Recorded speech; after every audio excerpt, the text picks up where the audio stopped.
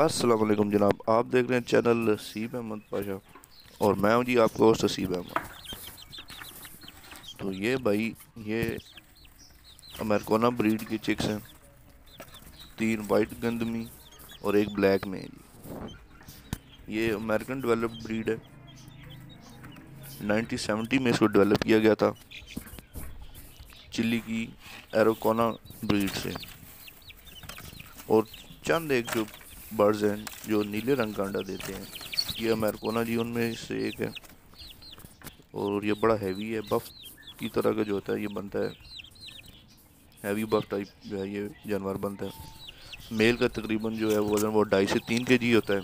Adult mail जो होता है, पूरा ब्रीडर आप कह लें। और फीमेल जो होती है ब्रीडर उसका तकरीबन जो है, वो दो से ढाई के जी के दरमियान होता है, वज़न उसका। और आप जो देख रहे हैं, ये भी आपको जो है ऐसे छोटे छोटे टेक्स तब भी आपको सही मोटे भरे हुए लग रहे हैं। इनमें तीन जो हैं जी, ये उसके वाइट के हैं, एक ब्लैक जो है ना, हमारे कौन है। और जो मेरी पसंदीदा जो ब्रीड है, उनमें से एक ये है अमेरिकाना और एक प्ले माउथ हेरिटेज है। तो दंदारवी और असील वो तो जो वैसे जो है ना, वो मेरे सेटअप में पड़े हैं। तो इंशाल्लाह आने वाले दिनों में मैं प्ले माउथ हेरिटेज की जो है वो इंशाल्लाह वीडियो लगाऊँगा। आप भाइयों के सामने वो भी रखूँगा। तो बड़ा प्यारा जानवर बनता है ये। इसकी तकरीबन सात आठ कलर में आता है ये। ये वाइट में भी है, गंदमी white blue blue white black में है। बफ कलर है इसका। सिल्वर कलर में भी जो है मेरे को ना है। ये तकरीबन सात आठ कलर इसके बनते हैं। बड़ा प्यारा जानवर है, बड़ा खूबसूरत जानवर है। बिल्कुल हैवी बफ की तरह का और इसकी अहम जो खसूसियत है वो ये है कि नीले रंग का अंडा देती है।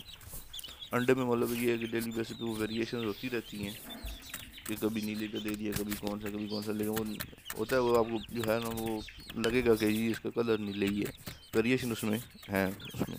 तो म्यूटेशन की वजह से तो कुछ और भी हो जाती हैं, लेकिन ये है कि ऑलमोस्ट अंडे का रंग जो है वो नीला होता है। और ये चंद ब्रीड में से एक है कि जो नीले रंग का अंडा देती है।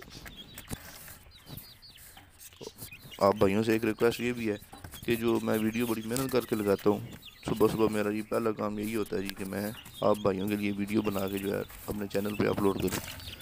आप ये सिर्फ़ व्यू ना किया करें वीडियो को या जो स्टेटस वगैरह लगे होते हैं, उनको देखे तो व्यू करके तो आगे नहीं निकल जाएगा तो एटलीस्ट चैनल को सब्सक्राइब किया करें ताकि ये चैनल ग्रोथ करे।